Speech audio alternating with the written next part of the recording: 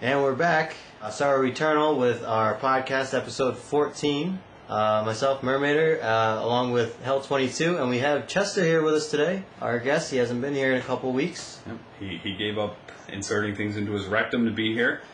It's true. I had to take time out. How uh, how's everything, Chester? Everything's fine. Good.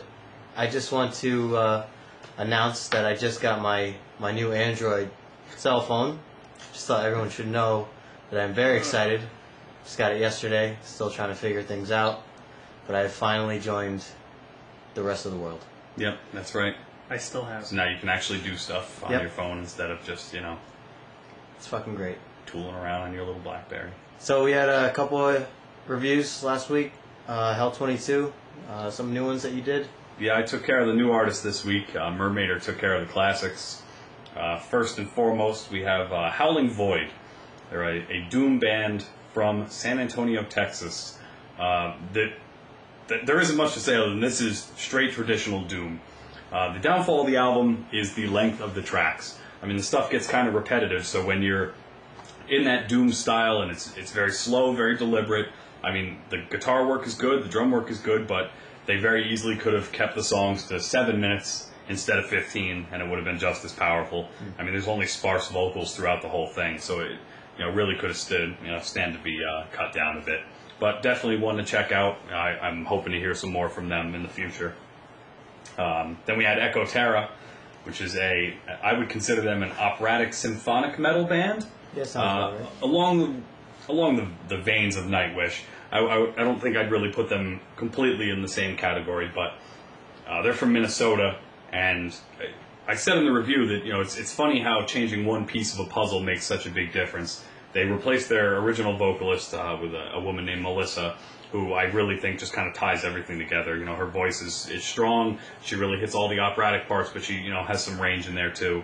Uh, but the highlight of the whole thing, as I was telling Mermaid earlier, is the keyboards. This this guy is absolutely insane on the keyboard. Um, the guitars are almost non-existent when you think about the, the scale of the whole thing. I mean, there's keyboard solo after keyboard solo, and that in that way it reminds me of Nightwish because you know Nightwish is a very keyboard-centric musical band. You know, definitely check this album out. The album actually doesn't come out until October. Uh, it is called Land of the Midnight Sun, but check out their MySpace. They've got a couple tracks on there uh, with Melissa on vocals.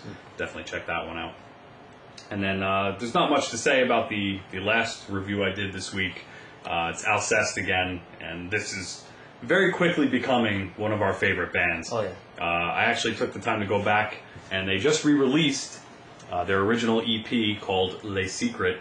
Uh, they completely re-recorded the two songs on it, so it's not just remastered. They actually went back and completely redid the whole thing. And when I say they, I mean him. Right. He went back and redid it all. Yes. Uh, cleaned it all up. The songs are not exactly the same. He you know added stuff in, took stuff out, uh, but it's incredible. It's clean. It's like Porcupine Tree at times, but then straight black metal at other times, and I, I have nothing bad to say about it. It was absolutely amazing. Yeah, that's what I love about them. How they're just all over the place, and they go back and forth, and you barely notice when you're listening that the different genres that they you know throw out. Um, yeah, it's good stuff. I, I really got lost. I, the tracks are around 13 to 14 minutes each, and honestly, the time just flies by. I hit play, and I felt like by the time I blinked, the first track was over. Even though I know I listened to the whole thing, I had to go back and listen to it two or three times in a row just to take it all in. Yeah. So definitely check them out. We're actually going to go see them in September. Yeah. Um, looking forward to that very much. You know, we've been we've been preaching the gospel to, to everybody about, Yeah. about this band. So definitely check out Alcest and uh, their original EP, Les Secret. Chester, you should check them out. Yeah, definitely check Yeah, them out. well, We, we've yeah. been, like I I said, think it, you'd definitely like You them. said they run along the veins of Nightwish, right? no, no, different bands. Oh, different band. Yeah, that's Different right, band. Sorry. Um, but definitely, we've we've got a lot of people excited about this, and you know, anyone who's who's a fan of post rock, post metal, Yeah. progressive metal, progressive rock. I mean, there's so much in there, definitely. And Mermaid, you found them because of the the black metal. Black, yeah, yep, So- that's how I came across them. So definitely, I, I, like I said, I have nothing but good things to say about this this French band. Um, so I know Murmaider is uh, practically shitting his pants over there because this week we were treated to a new song from the new Mastodon album, The Hunter. Uh, Oh. Murmaider, you got something to say about that? Oh man, it is everything and more that you could ever hope for from Mastodon. I was I was nervous, you know, them working on a new album, how they're gonna outdo their their previous album, Crack the Skye. Such a good album, and I had no idea where they were gonna take this. Uh, there was a lot of rumors going around of what the album sounded like, and you, you know you really just didn't know what was coming. And now that they have their first single out, um, It's actually not the first single. It's just Oh, a just song a- they put out. that they just released. I don't remember what the first single is. It's one of the songs with the really stupid names. Uh huh. Oh yeah. Um, but this was just kind of a treat. Oh okay. What's the name of the song? Black Tongue. Black Tongue. Yeah, got some interesting stuff in there. The verses are very like progressive. Yeah. And, but the the breakdown is they, great. They they lean back towards some of their older. Uh, the vocals were a little more like um, a mixture of Leviathan and uh, Blood Mountain. well, Troy handles a lot of the vocals on there, which Right. is. I mean, I'm a big fan of his vocals. So I Yeah. think that's cool. Yeah. Um, and it still has that like trippiness to it. You know, a little. Uh, it's it's out there, but it's uh, Yeah. it's it's good. I um I can't wait for the rest of it. You can check it out. Actually, there's we have it streaming on the site. You'll find it, you know, below this podcast to uh, to listen to, along with new Opeth, Yeah. the the Devil's Orchard. That's another again first song off of their new album titled Heritage, which will be out uh, in this crazy set of weeks. Yep. Now, you know, all of the articles are coming out, and uh, Mikael Åkerfeldt did an interview in Decibel, and uh, essentially there is no no growling, no screaming on this new Opeth album. Not one, not at all. Mhm.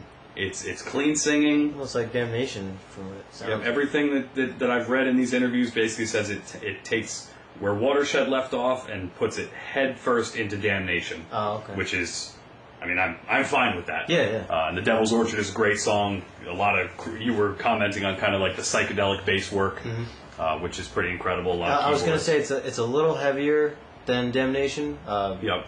instrumental wise, but um, but vocals were were all clean. They were good. Though I liked them. Yep, it's, it's, I'm looking forward to that album. Obviously, that and Mastodon going to be album of the year contenders. We hope. Yeah. But that you know the crazy set of weeks we got uh, Dream Theater on September 13th, Opeth on the 20th, Yep. Mastodon on the 27th, and then it's either the following week or the week after that is Iced Earth. Right, yeah. Um, we got so much coming. Ghost Brigade is in a couple weeks. That's right. Basically, the span of six to eight weeks, there's a huge release every week, Mm-hmm. and that is that's great. Yep. It's gonna be awesome. No shortage of stuff for us to review and talk about. I know. I don't, I don't know how I'm gonna find time to keep uh, listening to other things when I'm these next couple those next couple of weeks. I'm just gonna be listening to each of those albums. That, Well, what would be great? It would be great if uh, everyone listening clicked on our ads on the side of the page, and then we could quit our jobs And yeah, just do this all the time, and then we could like just sit in the office here and uh, just listen to albums and just All give each other the thumbs up through our, our headphones. yeah, yeah. Help us out, guys. Yeah, Put some links. We, we appreciate. We have uh, one rabid fan uh, named Fenny who clicks our links, and she gets us paid, Yep. and we appreciate that. And you know, she probably got car insurance or something through there, so. Thank you, Fanny. Yeah, so definitely uh, click the links. Now, Murmaider, the topic today is something very dear to your heart, very dear to your metal roots. Yeah. The way you started. What are we going to talk about here? Let's uh, let's get into power metal. The Oh, genre, power metal. The genre of power metal. It's changed so much, and it. I guess we can start off with the uh, the early '80s, the hair metal bands. The vocals are kind of like how they are now, how they were back then. Uh, higher, clean singing. Mm-hmm. Some of it almost operatic. Some of these guys that can really hit uh, Yeah. some high notes. But even going to like Iron Maiden and uh, Judas Priest. Judas Priest, yeah. Yep. Those guys kind of really solidified the genre. Yep. They made it a, a viable metal genre, whereas before, like the hair bands definitely had kind of the, the starts of power metal, but, you know. Oh yeah, they weren't quite there. And nobody really took them seriously. You know, they all wore women's makeup and Oh yeah, yeah. leather pants and stuff. But